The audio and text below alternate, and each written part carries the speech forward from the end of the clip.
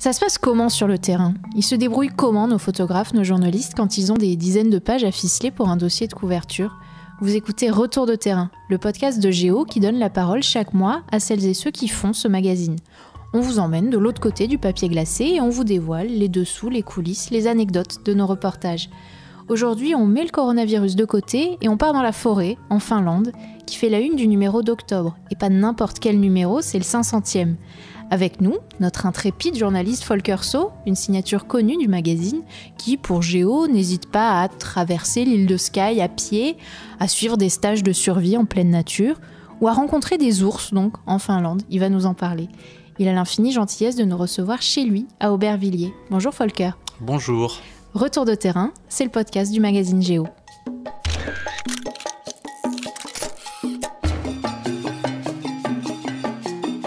Retour de terrain. Chaque mois, les reporters de Géo posent leurs valises et vous emmènent en voyage.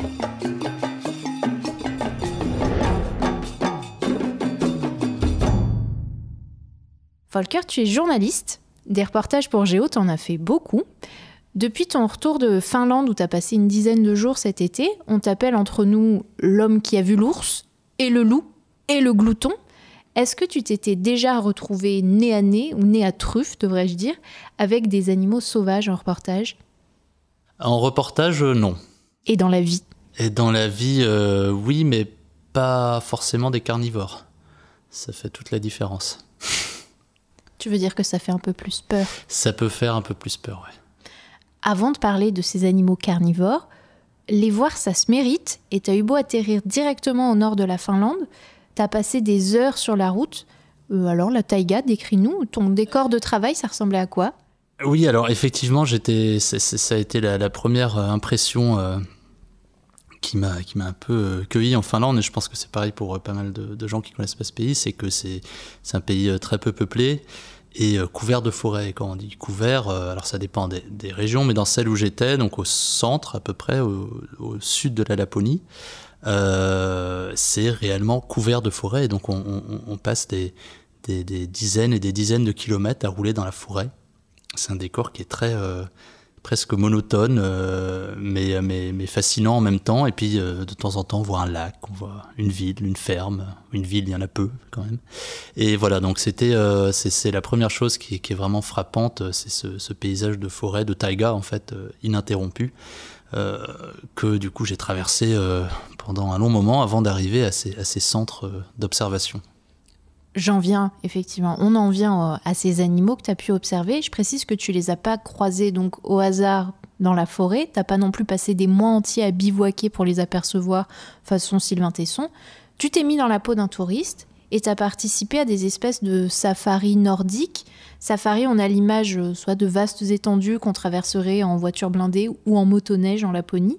Là, c'était différent. C'était comment? Oui, effectivement, c'est pas le safari itinérant. Euh euh, tel effectivement qu'on le voit en, en, Laponie où on va aller observer les, rennes par exemple, euh, voilà en motoneige euh, ou en traîneau. Euh, là, c'est plutôt de l'affût en fait. Donc, on va plutôt se rapprocher euh, de ce que vit un photographe animalier. Et d'ailleurs, euh, ces, observations, à la base, dans les années 80-90, quand ça a commencé à, devenir un petit euh, commerce touristique, à la base, ça ne s'adressait qu'aux photographes animaliers. Ça a été monté par, euh, le tout premier centre a été monté par un photographe animalier pour des photographes animaliers, qui venaient du coup un peu du, monde entier ou du moins de l'Europe entière, euh, dans ces affûts pour prendre en photo ces animaux. Et donc, effectivement, ça correspond plus à, à une planque, en fait, dans un... L'affût, c'est le terme de jargon un peu, mais c'est une planque, où on se met dans une cabane et euh, on attend l'animal. Et alors? Et alors, euh, la grande chose à savoir, c'est que les animaux sont appâtés. Donc, au début, on se dit tiens, on va se mettre dans une cabane dans les bois et puis on va voir passer un, un ours euh, qui, qui, passe là. Mais en fait, c'est en fait c'est impossible parce qu'ils vivent dans des étendues tellement immenses euh, même en se mettant à un endroit euh, précis au bord d'un cours d'eau, par exemple, on verrait pas l'animal. Qui plus est, c'est des animaux qui dans ces régions-là sont chassés historiquement, notamment l'ours mais les autres aussi, et donc qui se méfient encore plus de l'homme et euh, font tout pour l'éviter. Donc, comment voir ces animaux? Quand on est un humain il faut les appâter. Et c'est du coup ce que, ce que font ces centres. Ils ont repris une technique qui était avant celle des chasseurs, hein, tout simplement, qui appâtaient les animaux pour, pour les tuer. C'est interdit aujourd'hui en Finlande. Et, euh, et euh, les photographes euh, animaliers ont repris cette technique et se sont mis donc à leur poser des appâts. Et non seulement à leur poser des appâts, mais aussi à les poser sur des années et des années et des années, tous les jours, parfois à la même heure.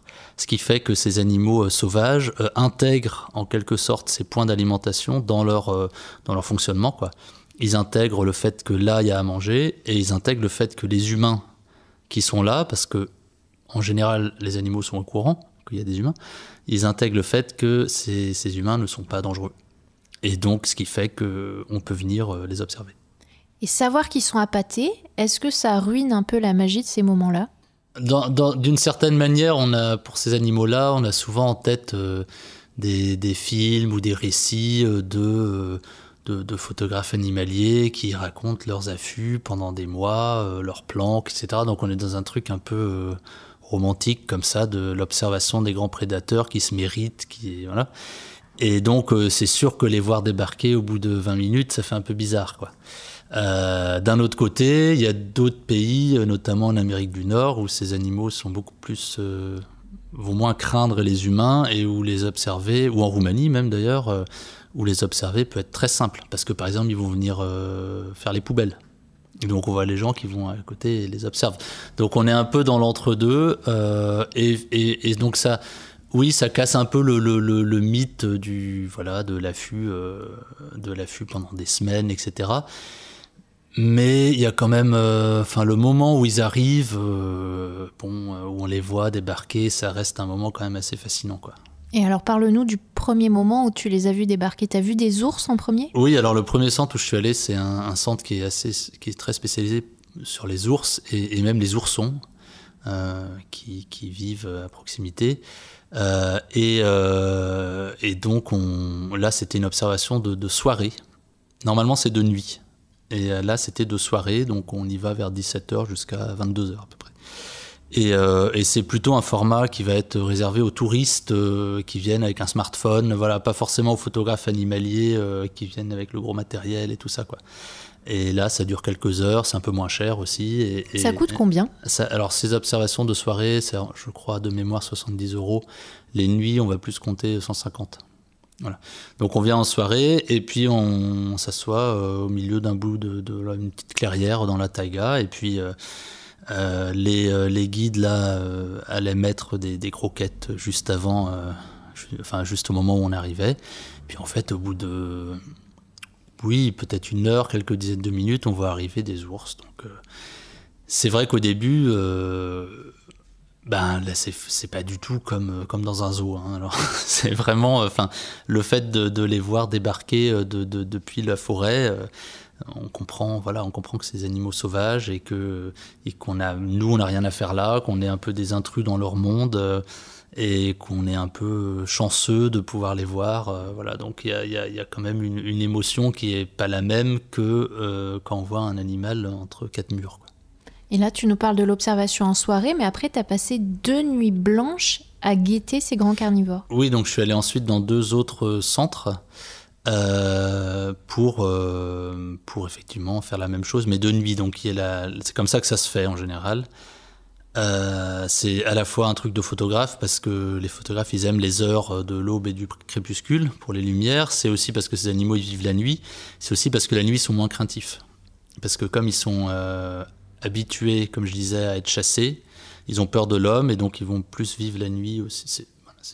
C'est aussi une raison pour laquelle on les, on les observe de nuit. Et puis par ailleurs, on peut le faire en Finlande parce que euh, entre avril et, août, euh, il y a le jour polaire dans ces régions-là. On est à 200 km sous le cercle polaire, donc il n'y euh, a pas de vraie nuit à ces saisons. C'est un point très important parce que sinon on les observerait mais on verrait rien. Donc voilà. Ouais, tu y étais au mois de juillet entre juillet, et août? Ouais, ça dure jusqu'à mi-août à peu près l'observation. Donc j'ai passé deux nuits euh, dans, deux centres différents. Et donc là, bah voilà, on arrive à vers 16-17 heures, on s'installe. C'est des petites, plus ou moins petites cabanes, ça dépend. Certaines sont vraiment très petites. Avec couchette, une chaise, enfin des chaises, des petites fenêtres, souvent des petites petites ouvertures avec du tissu pour faire passer juste l'objectif de l'appareil photo. et, on attend quoi. Donc il y a un côté il y a quand même, enfin, souvent ils disent que c'est du, slow tourisme, mais alors là pour le coup, ça l'est vraiment, quoi, parce qu'on passe, euh, on passe 14 euh, heures, quoi, à peu près, dans, ces cabanes, et, il se passe pas toujours euh, grand chose, quoi. Enfin voilà, on attend l'animal, et il vient ou pas.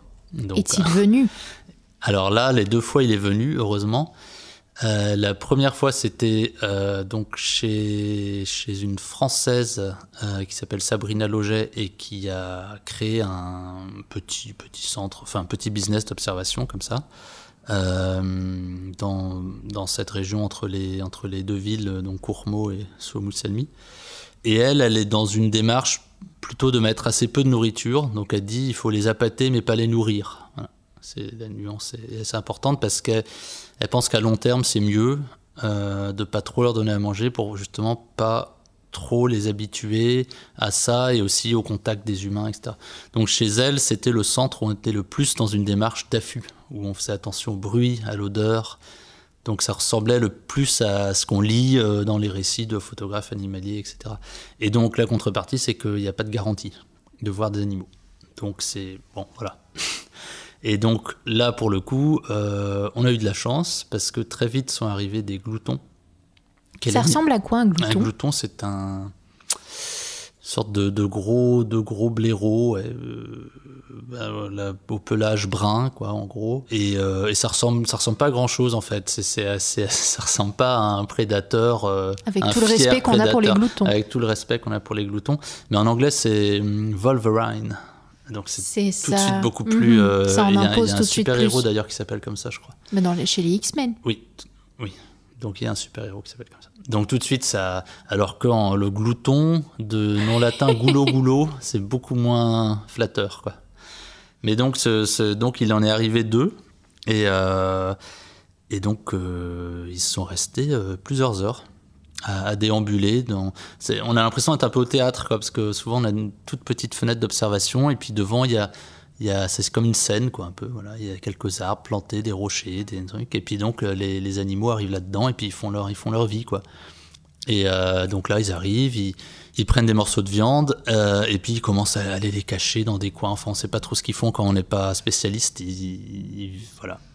Et euh, donc là, il y en avait deux à tour de rôle, un mâle, une femelle. Euh, et, donc là, j'avais la chance d'être avec Sabrina dans le dans l'affût, donc elle pouvait m'expliquer à peu près ce qui se passait, quoi. Parce que tout seul, euh, on ne sait pas en fait, on comprend pas les comportements de ces animaux. Quand, voilà. Donc elle, m'expliquait qu'ils allaient cacher leurs morceaux de viande pour les récupérer plus tard. Enfin voilà, c'était stratégie de d'animaux, quoi, de, prédateurs. Et ensuite, donc ça, ça déjà, c'était un coup de chance de les voir. Et ensuite euh, sont arrivés à tour de rôle deux ours euh, qui d'abord une femelle et ensuite un mâle que Sabrina elle elle les reconnaît parce que enfin tous ces guides en fait ils ont tellement l'œil que ils voient arriver un ours ils le reconnaissent parfois ils lui donnent un petit nom voilà. donc euh, là d'abord la femelle qui qui était pas très grosse euh, qui voilà venait manger des croquettes et tout ça. Et puis ensuite un mâle, euh, un énorme mâle qui a déboulé d'un coup euh, vers, euh, vers minuit ou une heure ou quelque chose comme ça, et donc qui, lui pour le coup était vraiment très impressionnant. Et, donc chez Sabrina on voyait moins, voilà, on, a, on a vu que ça de la nuit. Ensuite on attend pendant des heures et des heures et des heures et on regarde la forêt comme ça. puis, puis, puis il se passe rien quoi, mais on passe des heures à juste regarder.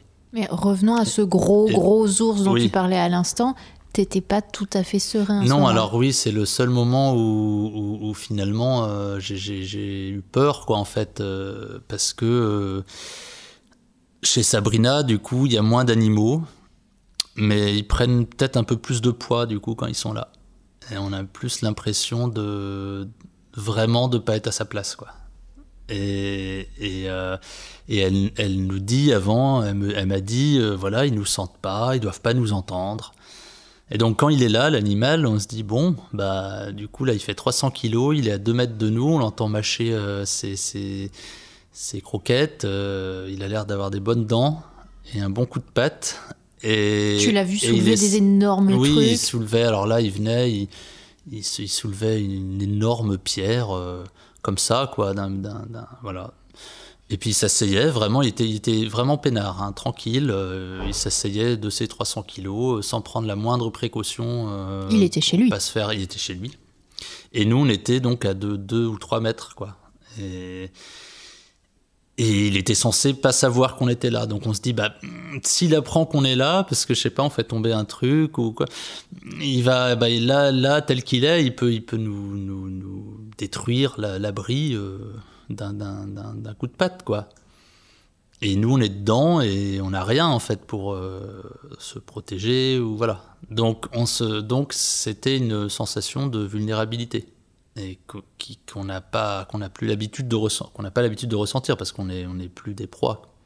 Et donc, ça c'est très bizarre, vraiment très très bizarre.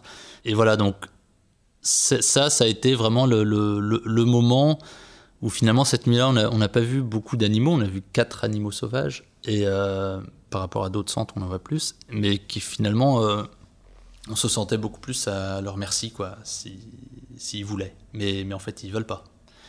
Et, donc, et Sabrina me disait, de toute façon, si là on sort de la cabane, c'est lui qui va partir. Parce que lui, il a peur de nous. Mais quand on est un humain face à ça, on se dit pas qu'on lui fait peur, mais en fait, si on lui fait peur. Est-ce que ça t'a ému aussi? Euh, oui, oui, il y avait un, il y avait, il y avait un, ben, ça va un peu avec, quoi. C'est-à-dire euh, le, le, la rencontre avec euh, avec cet animal, on se sent, on se sent vulnérable, mais du coup, on est, c'est un peu émouvant de ressentir ça en fait, parce que parce que c'est des sensations qu'on qu'on connaît pas en fait. Donc c'est une forme d'émotion un peu rude sur le coup, mais mais oui. Et en Finlande, est-ce que ces Big Three, donc l'ours brun, le glouton, le loup, euh, souffrent d'une mauvaise image comme en France les, loups, les ours? L'ours, c'est quand même un animal un peu totem en Finlande. C'est un peu un animal national, quoi. Donc, euh, Même s'il est chassé. Euh, Alors, il est chassé, il a toujours été chassé. Sa population a sérieusement souffert à, à une époque au 19e, 20e. Mais c'est culturellement, c'est un animal qui est important, vraiment. Donc, je dirais qu'il est un peu à part par rapport aux autres. Euh, il fait partie un peu des. Ouais, c'est vraiment un animal totem. Il fait partie un peu de la, de la, de la légende, de l'esprit national finlandais. Et le fait qu'il soit chassé ne veut pas dire qu'on l'aime pas, parce que euh, la Finlande, c'est un pays de chasse, où c'est une tradition extrêmement implantée, beaucoup plus que chez nous. Euh, je me demande, je crois que c'est un des plus forts ratios de chasseurs par habitant. voilà. Et le, et le, le loup, le l'ours est, chassé à raison de, de quelques centaines d'individus par an euh, dans un but de régulation de la population. Euh, voilà. Sur une population de combien d'ours à peu près en 2000-2500. Le loup est particulièrement mal aimé, mais comme il l'est dans plein de pays en fait. Hein. Euh, le glouton est plus. C'est des animaux qui, sont, euh, qui, qui, qui, peuvent avoir une mauvaise image, notamment à cause des dégâts qu'ils peuvent commettre, notamment sur les élevages de rennes, mais aussi sur les jardins, les chiens, les ruches pour l'ours pour par exemple. donc voilà, donc il y a à la fois cette fierté euh, d'avoir ces animaux sauvages euh, qui font partie de l'identité du, pays. Quoi. C'est un pays sauvage en fait, de, nature. Et puis en même temps, euh, il y a cette culture de la chasse qui fait qu'ils peuvent les aimer et en même temps les chasser. voilà, c'est pas c'est pas forcément contradictoire. Et il y a après une, vraie animosité pour pour certains parce qu'ils viennent détruire, euh, parce qu'ils viennent tuer des, des, des, rennes euh, ou, d'autres animaux. Les, chiffres sont quand même assez impressionnants, euh, même encore aujourd'hui. c'est des, des, milliers de rennes en fait qui sont tuées tous les ans par des prédateurs et qui donnent lieu à des millions d'euros de compensation aux éleveurs, etc. Donc c'est pas rien quoi. Enfin ces animaux, ils ont quelque part ils ont un coût ils ont un coût pour le pays. En fait, euh, le fait de les avoir, ça, ça, ça, a des vraies conséquences euh, sur l'élevage notamment, et ça a un vrai coût financier. Quoi. Tu nous as parlé de, ta, de tes rencontres avec les ours, avec les gloutons. Tu as aussi vu des loups? Oui, je suis allé chez euh, Lassie Rotienen, qui est un photographe animalier euh, qui a une certaine réputation en Finlande et même à l'étranger, et qui a été le premier en fait à ouvrir un centre, un centre d'observation euh, il y a une trentaine d'années. Et donc chez lui, il y a, euh, une, meute de loups qui vit dans les environs, euh, qui est également appâtée, voilà, depuis, depuis longtemps. Et donc, donc on est assez sûr de voir des loups quand on va chez lui. Donc là, c'était un peu le, le moment, un moment que j'attendais, quoi, parce que j'avais un peu ça en tête de voir des loups. Et effectivement, j'en ai vu, je crois, trois ou quatre dans la nuit. Là, j'étais seul dans mon affût, donc il y avait personne pour m'identifier les animaux, euh, me dire euh, ils s'appellent comme ça. Donc j'ai dû en voir trois ou quatre. Quand on connaît pas, on n'arrive pas à les reconnaître quand ils passent plusieurs fois et tout ça. On sait pas trop si c'est le même qu'avant. Donc trois ou quatre et dont, dont un moment un qui s'est approché assez près, quoi, une dizaine de mètres. Là, c'était un endroit beaucoup plus vaste. Donc les animaux pouvaient être à 100 mètres, 200 mètres. Et à un moment, il y en a un qui est passé tout près de l'affût. Donc ça, c'était un moment assez, euh, assez émouvant et en même temps, euh, et en même temps euh, un peu étrange parce que cet animal qui peuple nos imaginaires depuis qu'on est enfant, voilà, là d'un coup, on le voit déambuler la, queue entre les pattes, un peu craintif, au bord d'une tourbière, voilà. Et finalement, on se dit, bon, bah, c'est un gros chien, quoi. Mais bon, non, quand même, ça, ça, ça, ça fait quelque chose de le voir. C'est- vrai que chez nous, c'est improbable de voir un loup. Ça n'arrive jamais. Enfin, voilà. Et là, d'un coup, euh, on se pose dans une cabane, on le voit arriver. Ça fait, ça fait bizarre. Et euh, est-ce qu'en Finlande, on peut parler de véritable business autour de la Finlande rurale, la Finlande sauvage? Euh, ben, le, le, le, le business touristique dans ces régions-là, il concerne beaucoup la Laponie, avec tout ce qui va avec, le Père Noël, euh, la motoneige, etc., etc. Donc, donc là, oui, la Laponie est un lieu sauvage, hein, c'est très peu habité, etc. Mais, c'est vrai que quand on va dans les endroits touristiques de Laponie, on, se sent beaucoup plus touriste. Euh, Il il y a- tout le décorum et les, compagnies, etc. Là, cette région-là, le, le euh, c'est vraiment un endroit qui n'est pas vraiment prédisposé au tourisme. Euh, c'est plus un lieu de, sylviculture euh, qui perd des habitants en plus. Et, euh, et eux, du coup, c'est une région qui est vraiment encore plus sauvage et, et qui a un peu do- donc où s'est développé ce business d'observation et qui maintenant a aussi mis, a aussi vend un peu ce côté sauvage. Alors ils ont créé une association qui s'appelle Wild Taiga en 2005, je crois. Et, euh, et cette association fait un peu la promotion, bah, notamment de ces observations d'animaux, mais aussi bah, de divers logements, euh, hôtels, etc. Et, vraiment, ils mettent en avant ce côté, euh, extrêmement sauvage. Et voilà, je ne sais pas si c'est concrètement la région la plus sauvage par rapport à la Laponie, ce serait compliqué de, Mais en tout cas, en termes de tourisme, on est beaucoup plus hors des, sentiers battus qu'en Laponie, clairement. Et sur place, tu t'es pas contenté de voir des, des carnivores sauvages, tu as également cueilli des baies, des baies arctiques. Ça Oui. fait partie du quotidien des Finlandais? Euh, au quotidien, peut-être pas, mais euh, disons que ça fait partie de la culture. Euh, un peu comme la chasse, en fait, parce que parce qu'on en parlait avant. Parce qu'en fait, c'est un pays qui a qui a eu qui a toujours, enfin, où le faire de l'agriculture, c'est pas quelque chose de très simple, vu le climat, vu le milieu, et qui donc euh, a plus euh, compté sur les ressources de sa nature euh, généreuse, pour le coup. Donc, donc c'est la chasse, donc c'est la pêche, et donc c'est aussi la cueillette. La cueillette des champignons et des baies. Et donc ça, c'est quelque chose d'assez implanté effectivement dans la dans la, dans la tradition finlandaise, quoi, depuis depuis des périodes ancestrales.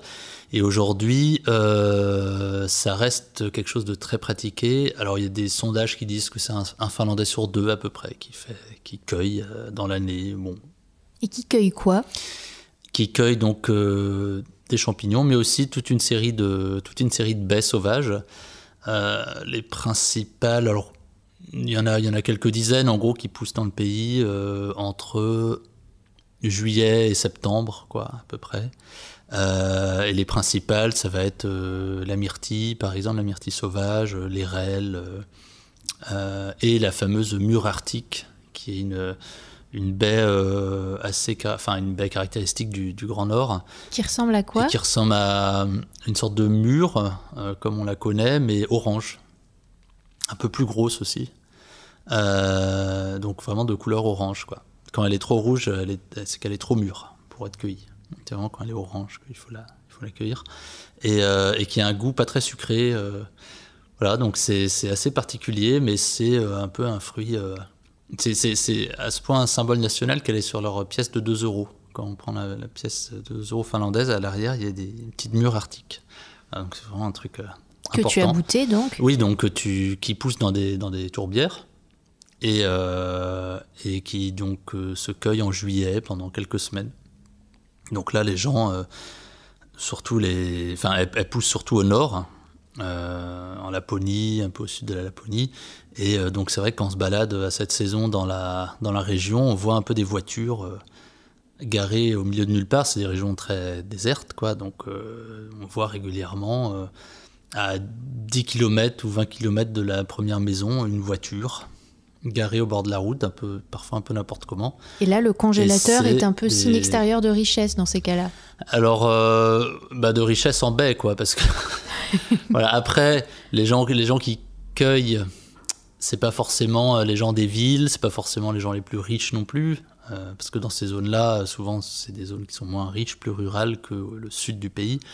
mais c'est le congélateur est un accessoire indispensable pour stocker parce que ces baies, en gros, sont cueillies euh, pendant quelques mois euh, et, mangées pendant le reste de l'année. L'idée, c'est en gros de, cueillir les fruits à ce moment-là et de les manger au cœur de l'hiver, quand il n'y en a pas et qu'on a besoin de vitamines. Enfin, c'est un peu ça l'idée. Et donc, il faut effectivement, euh, comme les gens, certains cueilleurs en cueillent vraiment des dizaines de kilos, il faut effectivement avoir des, congélateurs assez grands pour, les stocker. Et après, on en fait quoi? Alors après, euh, ça se mange, c'est assez, classique. Ça peut, ça peut très bien, par exemple, accompagner le, petit déjeuner euh, avec, euh, je sais pas, enfin, comme une sorte de muesli, quoi. et ça peut, après, on peut en faire des confitures, des gâteaux, ou des, ça peut accompagner des viandes aussi, des choses comme ça. Et après, il y a tout le commerce, où là, c'est encore autre chose, où les baies sont, sont soit vendues congelées, euh, soit transformés ben, dans ces mêmes produits-là ou même dans des poudres, euh, des, des barres, euh, des barres énergétiques, des cosmétiques aussi. Ça sert, ça sert pas mal à faire des cosmétiques. Parce que sont, elles sont pleines de, de, nutriments. Alors c'est des vitamines ou c'est des polyphénols ou c'est des fibres, etc. Non mais d'ailleurs on le voit, tu as un teint éclatant. Oui, bah oui mais je, je crois pas que j'en ai mangé assez. Et c'est prêt en cosmétique, il faut les utiliser tous les jours, évidemment. Une dernière question, Volker, parce que je, quitte la Finlande pour mm. te faire une confidence. On rêvait d'enregistrer ce podcast chez toi, parce qu'il y a une chose dont tu nous parles depuis un petit bout de temps. C'est ton ah musée du truc. Ah, ça... Alors, nous y voilà, on est chez toi, mais qu'est-ce donc que ce musée du truc? Euh, bah C'est c'est un, musée euh, où on expose tous les objets qui n'ont pas d'usage dans la vie quotidienne. Mais encore euh, Ça peut aller du, du, des surprises Kinder aux, petits bidules qu'on retrouve chez soi et qu'on ne sait pas, sait pas d'où ils viennent ni à quoi ils servent. Donc soit on les jette, mais c'est dommage parce qu'il y a quand même beaucoup de choses. Ou alors les, aussi les petits bibelots qu'on ramène de voyage, mhm. en étant content de les acheter, mais après une fois qu'on est chez soi, on ne sait pas quoi en faire. Et, ou les trucs qu'on nous offre parfois, ou des objets promotionnels. Enfin bref, il y en a beaucoup, beaucoup. Est-ce que tu as rapporté de Finlande de quoi alimenter ton musée du truc euh, bah, J'ai rapporté des aliments. Donc euh, si je les mets dans le musée du truc, ils vont, ils risquent de pas. Voilà, j'ai rapporté des poudres de baie que je pourrais peut-être, euh, ça se conserve assez longtemps, donc peut-être qu'ils peuvent, peuvent y figurer. Et sinon, musée du truc, il faut que je précise, qui est à l'état de carton à l'heure actuelle, puisque tu as emménagé il n'y a pas très longtemps. On, est un peu déçu de ne pas le voir ah euh, monter, exposé. il nous faudra revenir. Mais pour y voir donc de la poudre de baie exposée. Voilà, mm. tout à fait. Merci Volker Saut d'avoir participé au huitième épisode du podcast Géo Retour de terrain. Je rappelle qu'on peut découvrir tes reportages finlandais dans le 500e numéro de Géo, un numéro collector, en kiosque jusqu'à fin octobre et disponible en version numérique en passant par géo.fr. Merci à Lucas Vibo pour les moyens techniques et Emeline Ferrard pour la réalisation. Merci à vous de nous avoir écoutés. N'hésitez pas à en parler autour de vous. Laissez-nous des étoiles, des notes, des commentaires. On est sur toutes les plateformes Apple Podcasts, Deezer, Spotify, Castbox. Et parce que Géo est un mensuel qui se feuillette aussi avec les oreilles, je vous donne rendez-vous dans un mois pour un nouvel épisode de Retour de terrain.